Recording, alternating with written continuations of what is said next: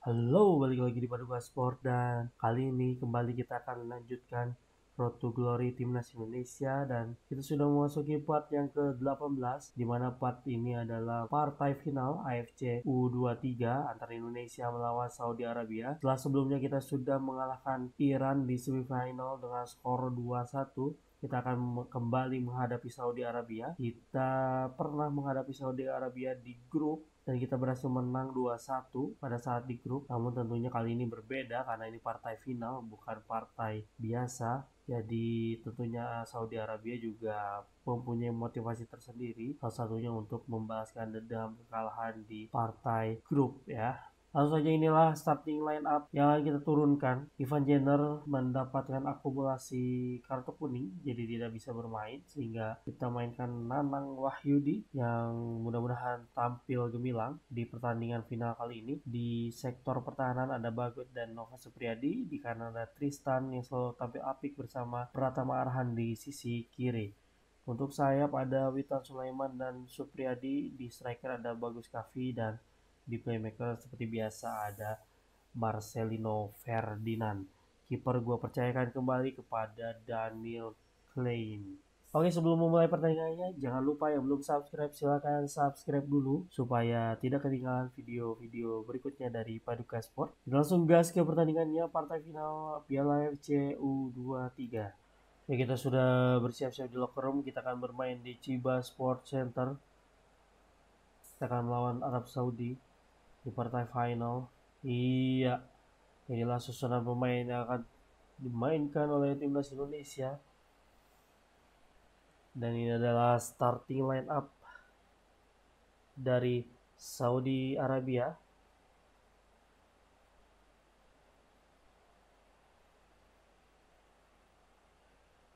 Pemain sudah memasuki lapangan tentunya menyanyikan lagu kebangsaan dari masing-masing negara.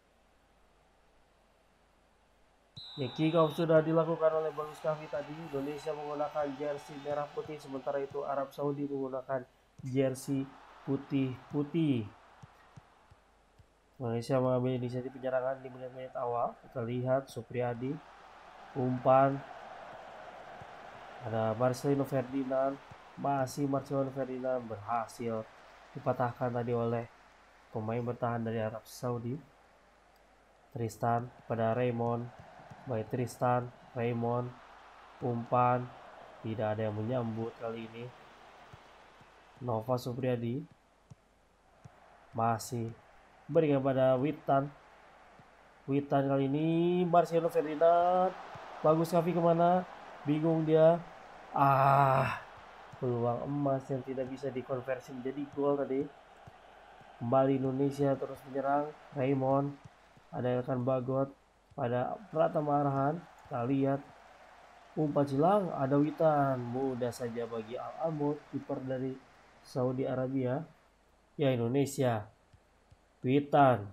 Pada Nanang Wahyudi melalui Witan Tristan Guijer Raymond Wizing Ferdinand masih Marcelino Ferdinand mencari kawan dia.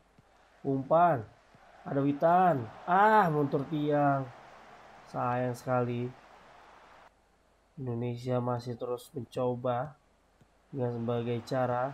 Talia Supriyadi, Marcelino Ferdinand, Witan Sulaiman mencetak gol pertama bagi Indonesia di pertandingan final kali ini.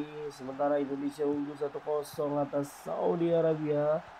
Talia Supriyadi Ferdinand kita lihat uh Witan sangat kosong guys. Tidak ada yang menjaga. Baik sekali tadi. Kita lihat apakah iya onside. Jelas ada yang tertinggal dari back dari Arab Saudi. Daniel keren pendek kepada Pratama Arhan. Kasih ke Muhammad Supriyadi.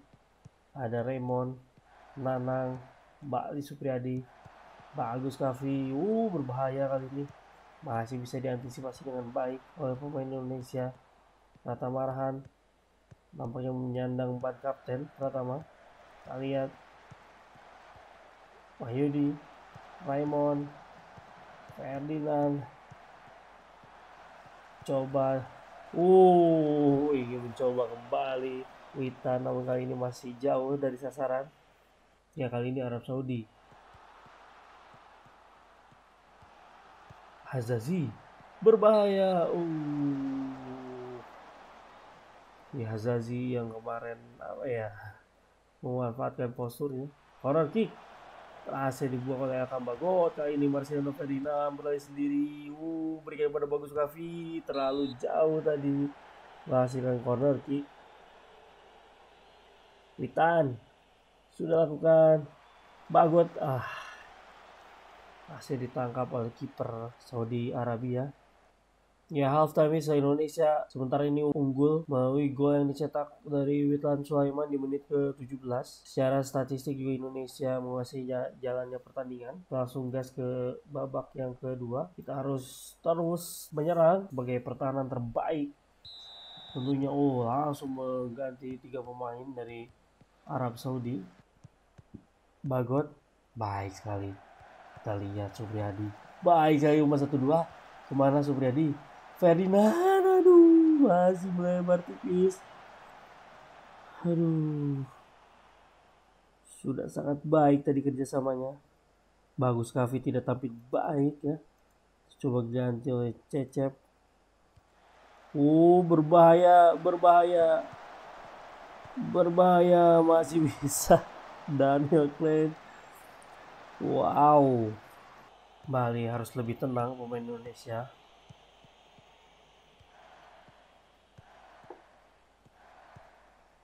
Baik sekali. Ferdinand belakang. Masih sabar pemain Indonesia. Offset nampaknya. Cecep terlalu depan tadi. Pratama kepada Nanang. Supriyadi kali ini masih Ferdinand uh, masih belum menemui sasaran tadi shotnya kali ini Witan Sulaiman corner kick semoga bisa dikonversi menjadi gol yes Bagot. Come on. Yes. Indonesia unggul 2-0 kali ini. Benar sekali kita lihat Bagot tinggi menjulang dan BM berhasil menyundul bola yang dikirim oleh Witan Sulaiman. Breva tadi kita masukkan menggantikan um, Ferdinand. Supriyadi juga kita ganti oleh uh, Lukas Konen.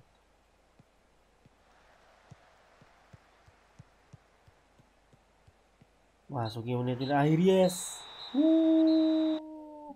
Indonesia kembali timnas U23 membawakan prestasi gemilang di level Asia. Setelah sebelumnya kita bisa menjuarai atau meraih medali emas Asian Games dan kali ini adalah Piala AFC U23. Yes. Indonesia juara FC U23 champion oke okay. Pratama Arhan sang kapten mengangkat piala Iya, secara statistik Indonesia juga unggul position 55 berbanding 45 dan 16 shot berbanding 5, 6 shot on target berbanding 3. Indonesia unggul 2-0 atas Arab Saudi di pertandingan final AFC U23. Kembali Indonesia mengisi lemari trofi dengan trofi yang bergengsi tentunya.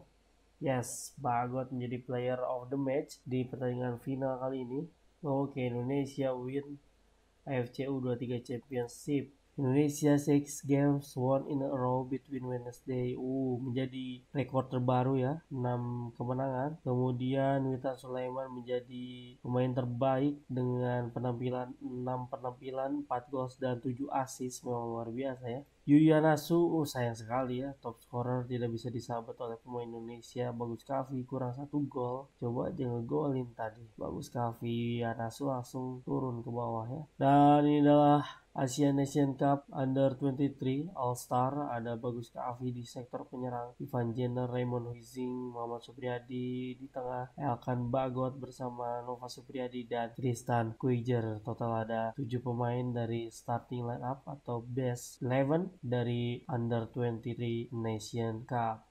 Ya, jadi itu saja yang bisa kita mainkan di part yang kali ini pertandingan final khusus pertandingan final Piala AFC U23 dan Indonesia kembali. Timnas Indonesia terutama timnas Indonesia U23 berhasil membawa prestasi terbaik di kompetisi yang diikuti. Setelah tahun 2022 kemarin Indonesia berhasil meraih gelar juara Asian Games atau medali emas Asian Games dan kali ini AFC Under 23 jadi itu saja. Terima kasih yang sudah menonton. Terima kasih juga yang terus mengikuti series ini tentunya kita akan lanjut lagi dengan timnas senior yang akan melanjutkan kualifikasi Piala Dunia 2026. Oke, terima kasih. Sampai di sini. Jangan lupa like, komen, dan subscribe. Sampai jumpa di video berikutnya.